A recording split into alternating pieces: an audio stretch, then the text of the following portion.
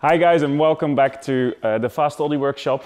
Um, today I was planning to show you uh, our Phoenix engine. Unfortunately, uh, we don't have it finished yet, not because we don't have parts this time, but because the shop is at full capacity. Uh, Philip is working hard, MFA is full and uh, Marcel is also uh, fully worked, but we have a special engine to show you. This is a 3.9 engine of Mazam, very good customer and friend of mine, wheeler dealer Mazan. Thank you for uh, allowing us to show your engine. This is slightly different than the Phoenix build because it's a 3.9 engine, so slightly bigger displacement. We chose to stay smaller uh, with a 3.6. Uh, and today I want to show you the difference between the normal intake that goes onto uh, a 964 engine, which is what you see here. This has uh, been restored for a different car, but just to give you uh, an image. Um, we are going to lose all of this on the Phoenix engine and also on Mazan's engine. Um, so this can go. And what we're replacing it with is a clever intake system uh, built by Jonas of Island Work. Thank you for the hoodie. Uh, and this is a drive-by-wire system.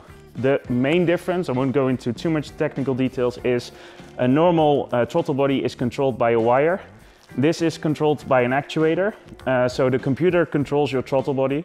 Um, this replaces the whole intake you've just seen. Um, comes on top of the engine, pretty standard stuff, very nice system from Islandworks. Um, we will show you later on how and what we use it with, but basically we replace the old analog system with a GT3 drive-by-wire system. So this is going on to the Phoenix and on this build as well.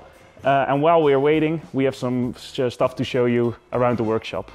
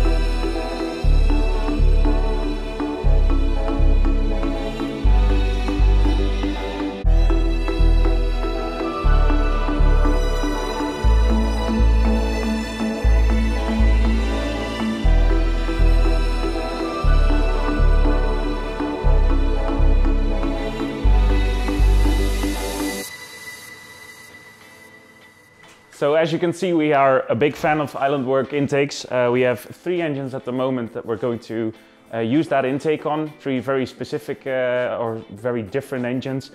Uh, one is 3.9 from Mazan, one is our Phoenix 3.6 build, and then there's another special one uh, that, that, I will tell you about in a while. Uh, Philip has the Autoverdi pump, the stage 3 one that we were waiting for. He has some very special colored fans and covers. So expect us to start building very soon. Um, for now, I hope you guys enjoyed the in-between shots of all the work and all the stuff that we're doing here at the Fast Oldie workshop. And um, like, subscribe, please uh, subscribe to our channel because that's good uh, for our sponsors and for everyone to see. You'll also get a notification of when um, new episodes are out and expect the Phoenix very soon. Thank you for watching.